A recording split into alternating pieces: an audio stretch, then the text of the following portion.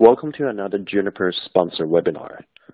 Today, our topic is the Groupon experience, network automation with Python and PyEZ. My name is Robert Tang, Senior Product Marketing Manager at Juniper Networks. I'm your host. We have two distinguished guests joining us today, Nathan and Alejandro. Nathan? Hi, I'm Nathan Emery. I'm a Senior Consulting Engineer with Juniper Networks with a primary focus on automation and cloud technologies. Hi, uh, my name is Alejandro Salinas. I'm the Senior Manager for Network Operations at Groupon, and as such, I'm responsible for everything network-wise that happens at Groupon data centers globally.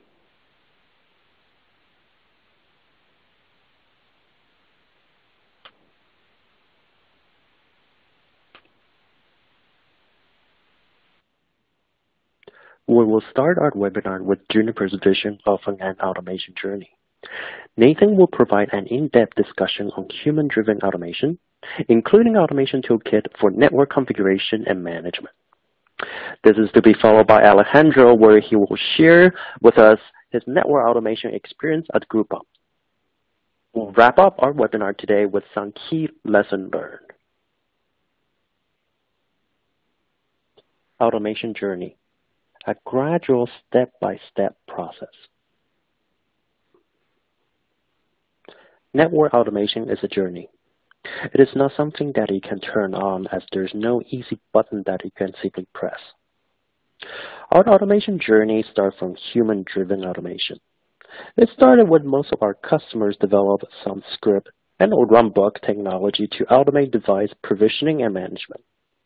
They might be able to gather some network information, However, it ultimately requires a human being to kick off the automation process, get information, and determine what happened next.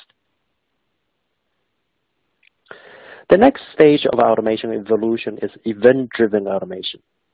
Many industries, namely oil, gas, aviation, and manufacturing, have already taken steps toward event-driven automation. They compile the knowledge from respective subject matter experts from whatever industry they are in and codified it, and then use this code to automate basic manual and repetitive tasks where systems perform themselves with a little human interaction. We're taking this concept into networking where we are automating key network functions, but we are also pulling critical network information back through telemetry. We subsequently use this critical network information to create additional policy or rule-based automation. The next stage is where there are a number of Juniper team currently working on is artificial intelligence. That not only we have subject matter expert codify their knowledge into an event-driven system, but also leverage algorithm to process large amount of data from network and to deduce what need to happen next. This is still very far off from the future, but we're working this today toward our grand vision of a self-driving network. There are multiple open source automation technology and framework in the market today. Pending your requirements, as well as stage of automation journey, each of these tools offer unique advantage and use cases. As Nathan will cover later in this webinar, the open programmability of Juniper solution can be easily integrated with these open source automation tools. Okay, Robert, thanks for that uh, overview of the evolution of automation. Uh, so now we're going to continue on to talk about the first step of that, which is human-driven automation. Okay, so before we really dive into automation at Juniper, I think it's helpful to step back and just take a look at some of the tools and concepts involved. So what we have here is a very simple, uh, logical overview of some of the different layers and some of the different layers of abstraction that are involved here.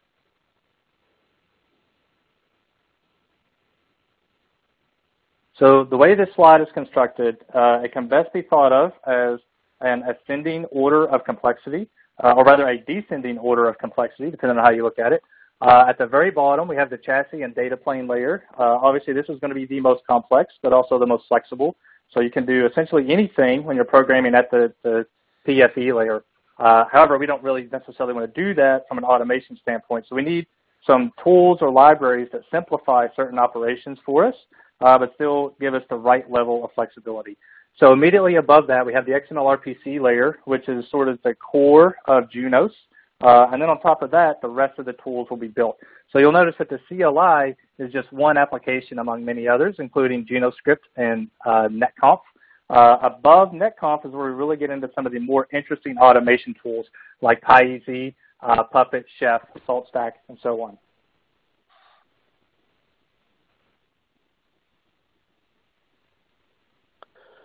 So Nathan, how is PyEZ related to other tools such as Puppet, Ansible, and Chef? Yeah, great question, Robert. Uh, so as you can see here, uh, Puppet, Ansible, and Chef exist at a slightly higher level of abstraction than PyEZ. Uh, so it's best to be thought of as those things uh, reside directly on top of or make use of a library like PyEZ. So PyEZ is a Python library uh, that we provide to allow other people to build tools on top of that. Uh, and those tools can be things like Puppet, Ansible, Chef. Uh, and then, of course, the end user can then go and build additional tools on top of those tools as well.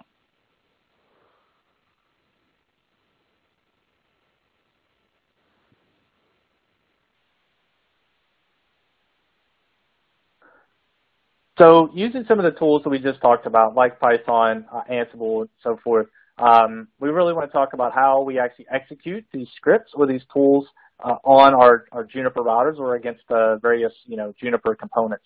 Um, so there's two separate ways that that mainly happens, namely on-box scripts and off-box scripts. So what that means is an on-box script is one that actually gets copied to the routing engine uh, inside the router, and it's actually executed either uh, on command or periodically uh, depending on what type of on-box script that it is. Uh, and then it can carry out some actions there locally to the router.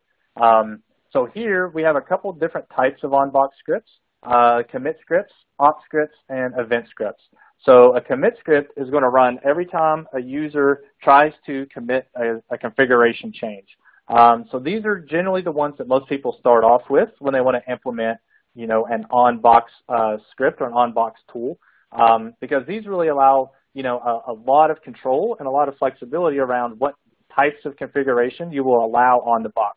Uh, so a really good example of that is you could have a commit script that would say things like, if someone changes an interface, it must include an interface description. So you can have logic there that says if this candidate config or this proposed change to this router does not include an interface description, then we will not allow it due to some business rules or whatever uh, that, that inside your organization. So using these small tools like commit scripts, you can really enforce consistency across all your commits.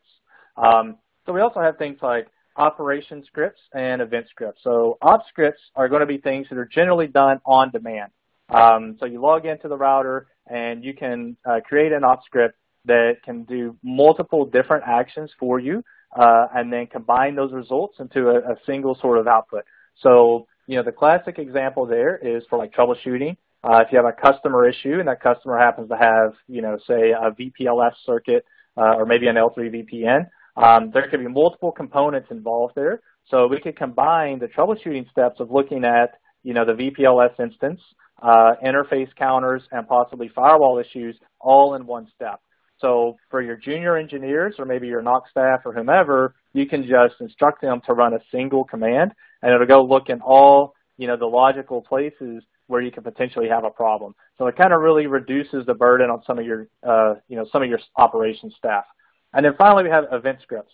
So event scripts are very much like cron jobs for those of you who are familiar with the Unix terminology. Um, these are things that just run uh, periodically. So you could schedule these things to run, you know, every five minutes or every 10 minutes, um, you know, or in response to some event that happens on the box.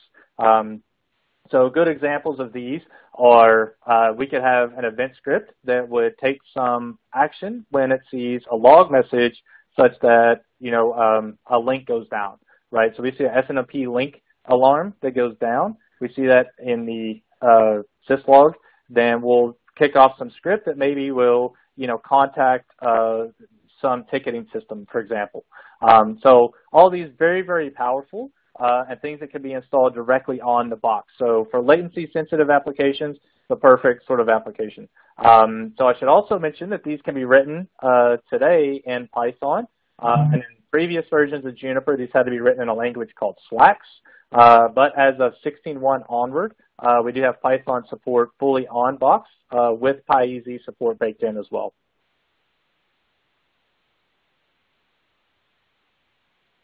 So on the other side, we have what we call off-box scripts or off-box tools.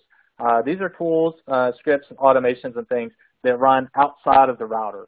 Um, so the advantage there is you can have a central place uh, where you can run these tools that may go out and contact you know multiple routers all at once. Um, and so typically that's done with uh, some scripting language like Perl, Python, uh, Ruby, and so forth. Uh, we provide a number of libraries to make it you know pretty easy to get started doing that. Uh, the one we want to call out here is PyEZ. So this is the library that we've written for Python that makes it very easy to take a very Python-esque approach to manipulating you know various objects on your routers, switches, and firewalls. Um, so PyEZ it, it's built on top of SSH, uh, utilizes the netconf protocol, and it allows you to do things like retrieve configuration, uh, run operational commands, um, you know, actually and uh, do commit changes uh, to the box, uh, so on and so forth. So PyEZ is really a foundational um, product or a foundational tool that then you can build upon with some other things, as we had already mentioned, like Ansible, uh, SaltStack, and so forth.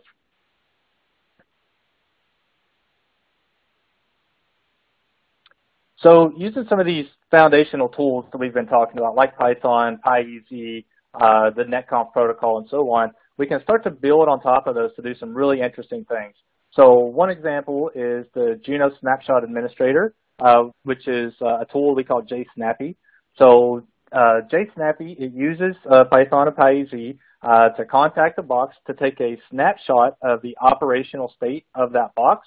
Uh, so it'll capture, you know, some metrics that you may be interested in, such as number of BGP peers, um, you know, number of OSPF neighbors, uh, things of that nature. Then it, it'll take this pre-snapshot in an automated fashion, and then you can go and do some uh, uh, change to the router, like in a maintenance window or, or whatever. And then once your change is complete, uh, you want to verify that the operational state of that that router is uh, you know very very close to what it was beforehand. Uh, so then we run another uh, post snapshot with a tool like JSnappy, um, which again we'll use uh, netconf from PyEZ, Python, contact the box, uh, run a number of commands to again pull you know the new status of things like BGP neighbors OSPF neighbors. Um, then we'll compare that with your pre-snapshot and then give you a nice reporting and output. So the end result is we can take some of these technologies and start to build tools that are you know much much easier for the operator. So now you can see that your change uh, you know was was completely successful and that you know the change actually ran, your router came back up, uh, you can still get to it, uh, so that's all good. But more importantly, all the functions that that router provides, like BGP peering or OSPF, uh, you know, neighbors and whatnot, all of those things have returned to an operational state as well, and it would save you, you know, untold number of hours because now you no longer have to, you know, manually go through and verify all 45, you know, sessions are up, things of that nature. Thank you, Nathan, for your detailed overview of the human-driven automation capability that Juniper has to offer. Now I'd like to transition to Alejandro, where he will give us a detailed overview of his automation experience uh, at Groupon. So Alejandro, um, in terms of um, what are the specific problems that you encounter in your network um, due to initial uh, lack of automation? Um, my understanding that uh, at the time you were experiencing rapid growth in the data center. So how did you overcome this uh, growth challenge? Thanks, Robert. Um, so as you said, we were uh, through rapid data center expansion, and we had multiple problems, which I think resemble most of the network environments when everything is done manually. I would summarize this in two categories, like efficiency and consistency. Both share a common cause, using highly skilled people to do repetitive work. When you do this, um, some of the tasks might be uh, fairly short. However, they still require the network engineer to stop working on project work and refocus on another request. And the interruptions and or context switching, if you will, take a toll in efficiency. Um, the other problem is that our deliverables lack consistency. In general, the quality of manual work heavily relies on the skills of the person. The network is, of course, not an exception here. And assuming that all of your team has the expertise to execute on a particular task, the final result will still differ depending on who does it. Some will finish tidy, some will be faster than others, some will make more mistakes than the others, and so on. Um, these undermines your capacity to predict how long it will take to accomplish a task, and also your trust in the final product. So in order to address this problem, we came up with uh, three scripts. It's a very simple solution. One script that allow us to find a host in the network and to uh, to know what the port settings were. Uh, the second script will change the VLAN in a specific port. And then we came up with a script that mixed both function functionalities.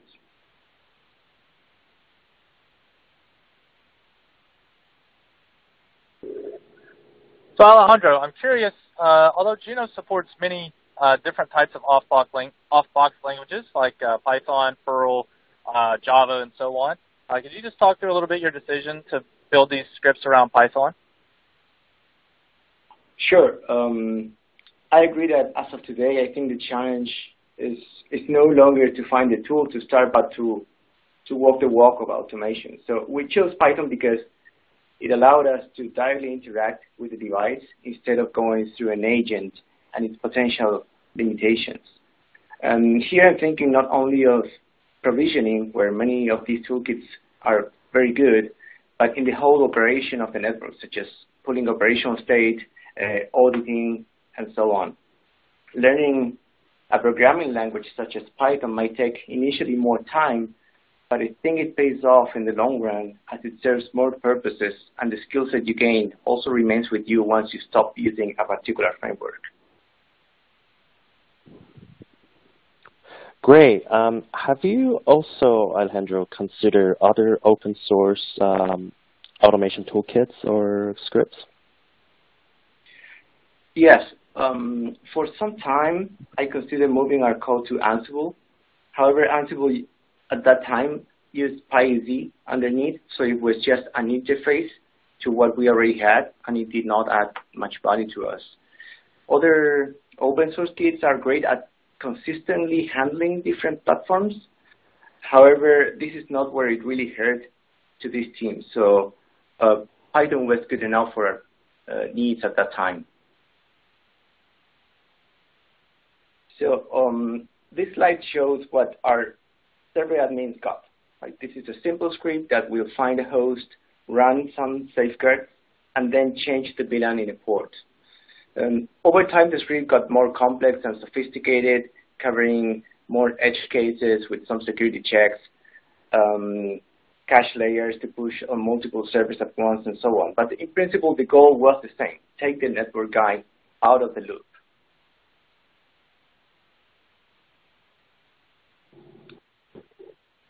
Alejandro, can you speak a little bit about your experiences with uh, NetConf in particular? Uh, sure. Um, we uh, interact with NetConf uh, interface on Junos devices through different libraries. Initially, we used uh, NC Client, and now we use PyEZ. Um, having said that, of course, we are not strangers to XML responses. There's times where you need to make a direct call and extract specific data from an XML response. And also when we run unit tests on our PyEZ code, we mock devices and then we need to save XML responses to prevent calls to network devices while the tests run.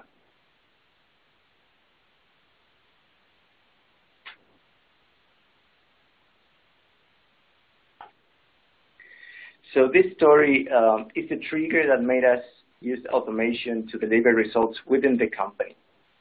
Um, Groupon was on a heavy expansion process, and that was taking a toll on the network team. We had uh, three engineers to work on designing and building our first Clos fabric data center, another data center expansion, and also to run uh, the 24-hour operation of the network, like firewalls, load balancers, and the like. No surprisingly, we were in deep trouble. So we decided to code our way out of this problem and to jump into a proof of concept to push configs massively. So this is the recipe that we use for this massive configuration push. Uh, we came up with uh, a very predictable cabling standard that we can put in, in terms of coding. Um, we use Jinja templates for all the different flavors and configurations that we needed. We created YAML files to pull and push resources. And finally, the glue of all this is code, uh, Python code with uh, using the PyEZ library. Thank you, Alejandro. Um, I'm just curious to learn a little bit more. Could you elaborate your experience uh, with uh, PyEZ? Uh, sure. Um, as I mentioned before, we initially uh, used the NC client library, but we moved to PyEZ uh, after it became available, and it was a nice change. I think uh, PyEZ provides a nicer structure to work with, and also uh, nice visualization such as tables. I think we now use PyEZ in most of our code. So our provisioning, our provisioning process was a two-stage provisioning process. Uh, the reason why we split our process in two is because it would allow us to address more cases, such as clustering of different devices. When you cluster devices, some names of uh, interface names and other settings change or are recreated, and therefore you need to cluster them before you can push the final configuration. However, you also had to provision them initially, like with operating system and basic settings, so they are reachable. Right? Um, so we split our process in first, make the device available and reachable, like put the all, all the system settings of a Juno OS device, basically. Um, upgrade the operating system to, the, to our standard and configure the system settings and make the device available. Users, uh, DNS, SNMP, basic configuration. And the second stage will push all the routing configs and the special flavors that this device need to, uh, require. Um, the results were uh, very good. Um, even though our code was far from perfect and did not cover every possible edge case, we had an 80% reduction in provision time. Um, we made a lot of mistakes, but every time we made a mistake, we corrected the code and repushed everything because now it was a cheap process. So the final result was a huge reduction in configuration mistakes, no human errors. Human errors will, were now code errors that were corrected once each and um, and things were ready uh, with higher quality and in a shorter time span.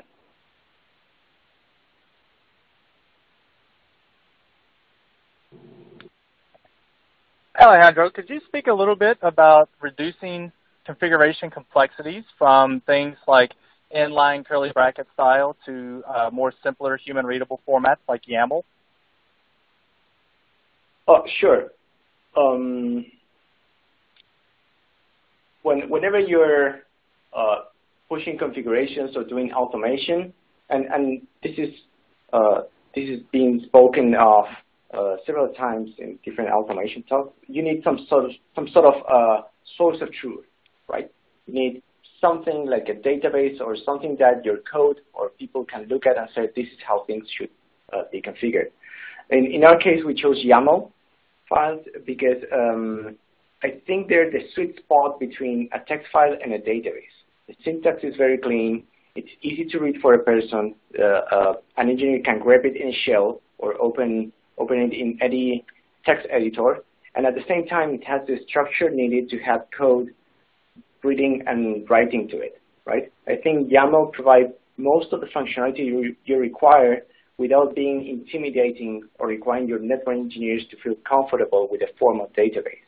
At some point, I think our YAML files will become a database, but that's not where it hurts today, so that can certainly wait.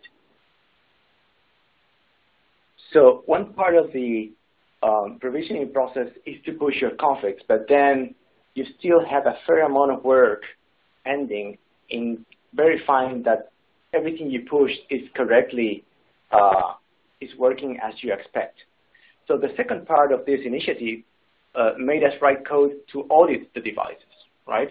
Code will log into the device, um, retrieve the operational status, re retrieve configurations, and uh, at the same time we'll look at our source of truth and cross these two sources of data and verify that it was correctly configured and that the operational status like ports, uh, operating system versions, licenses, uh, the IP allocations, VLANs, the BGP peers, and so on were all in place as they should be.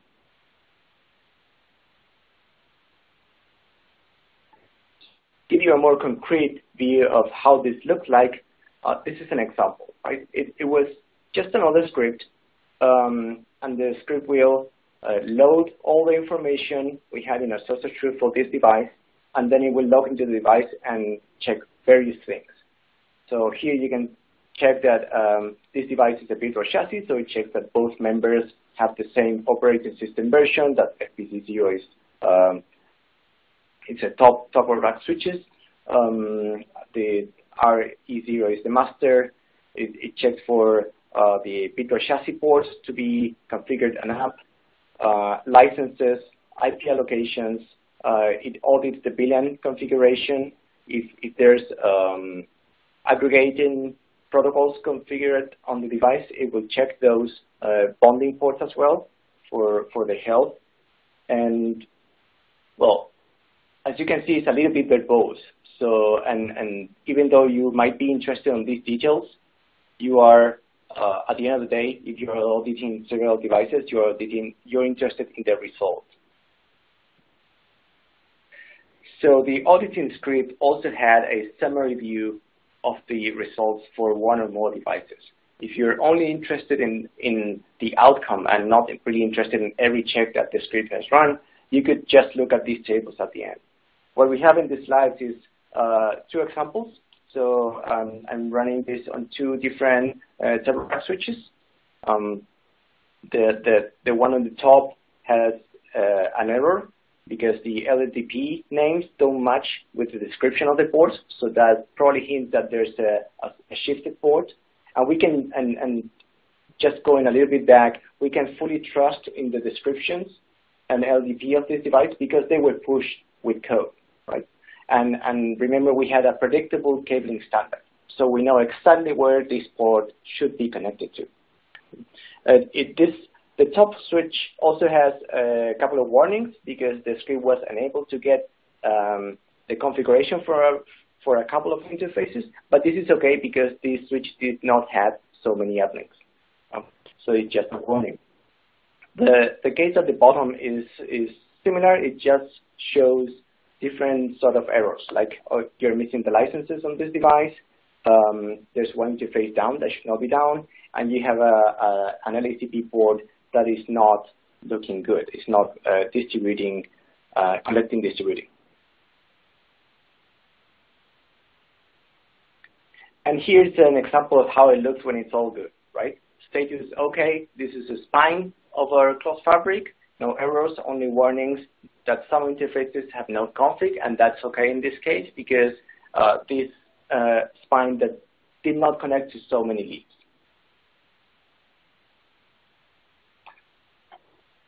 So this story builds on top of the two, uh, on the previous ones, right? Uh, we were, at this point, gathering information programmatically from the network devices, and we were also pushing configurations. Uh, we had written code to check on different things, and we also populated our source of truth, which was slowly replacing all the scattered documents we had until then. So again, we looked like where are we spending our time? Uh, where is where does it hurt? In which in which processes are we the bottleneck? And two things came out of that. One was the firewall management. Firewall management was consuming a fair amount of the team's time. And the other was um, that the information we were able to gather from network devices and our source of truth was not only useful for the network team, but also to other teams. Um, so if we could offer an easy-to-consume format for it, that seemed to be a big gain. Um, so we thought about this, like, okay, how do we publish our information?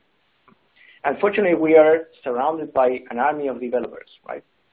So uh, we didn't need to look very far. What do they do? What do these guys do when they have to share information and communicate with each other?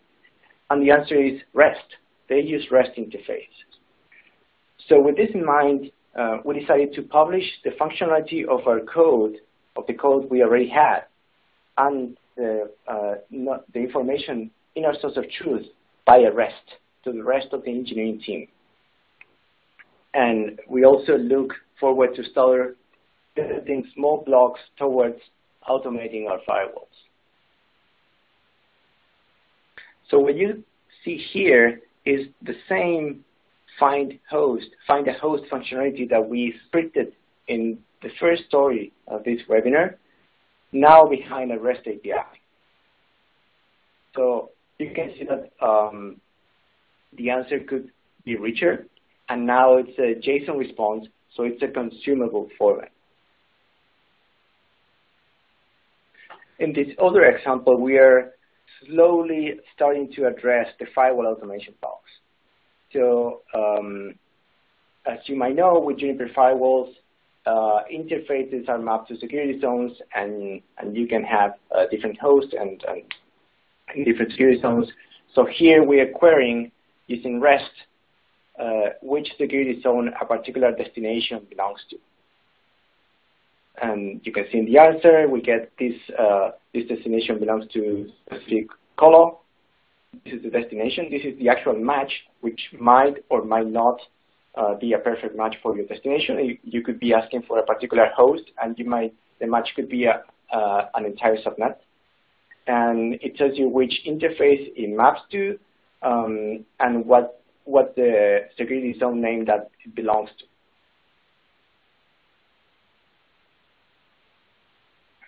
Continuing with the firewall automation blocks, uh, here you can see a REST call to ask if a particular flow is allowed um, through the firewall.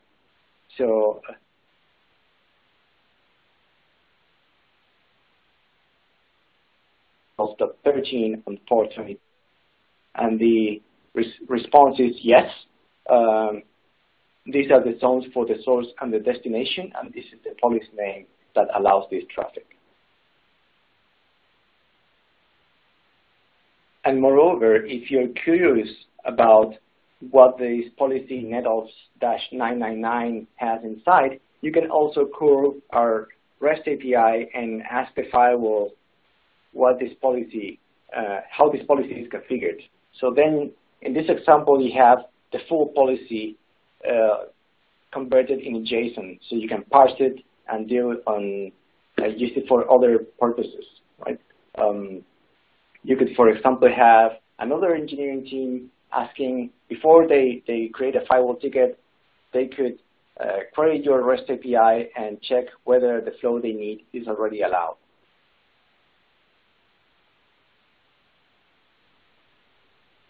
Thank you, Alejandro. Um, really appreciate your detailed overview of your network automation experience.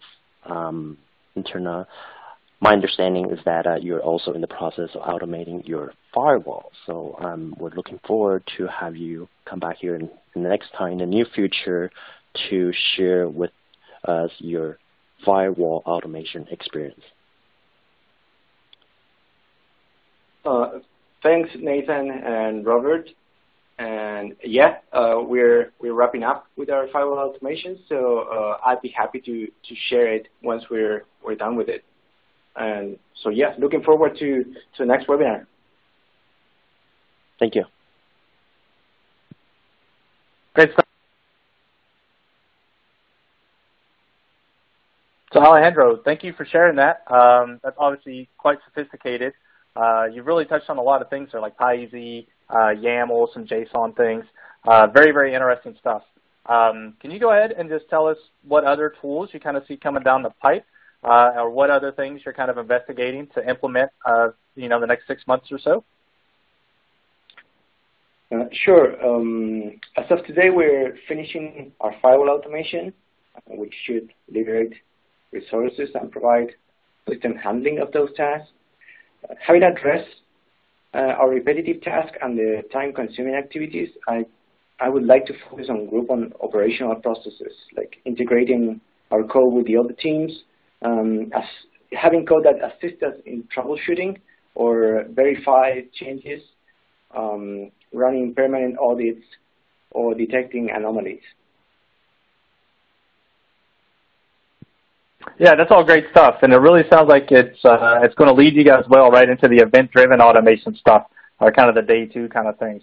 Uh, for co collaboration between teams, have you considered using uh, some source control tools like SVN or Git? Oh yeah, um, we use Git uh, intensively, like for code, for data, for backup, for um, for lunch and for dinner.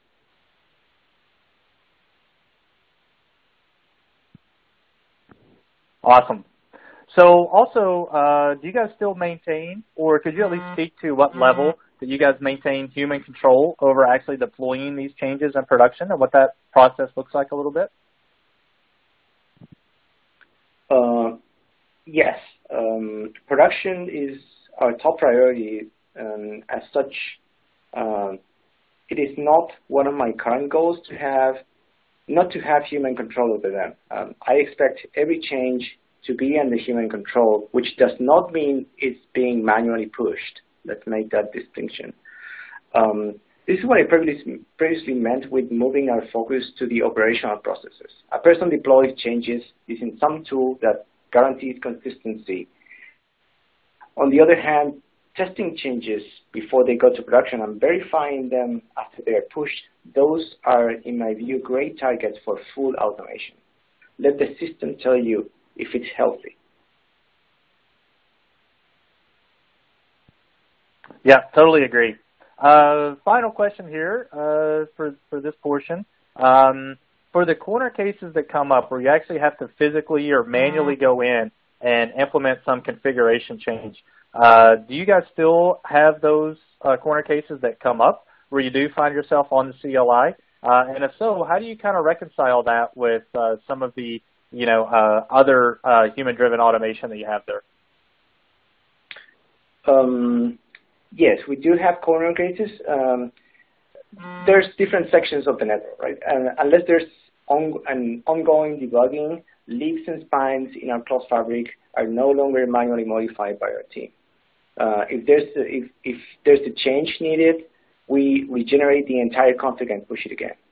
Um, there's other sections of the network, however, that are more of a one-off, like um, parts where we connect with providers or these kind of things, and manual changes still happen there. Um, automation, I love automation. Automation is cool, but not everything is a target for automation. You, you automate where it hurts. Like if, if it's too much of a one-off, I'm fine with having uh, manual changes there. Well said.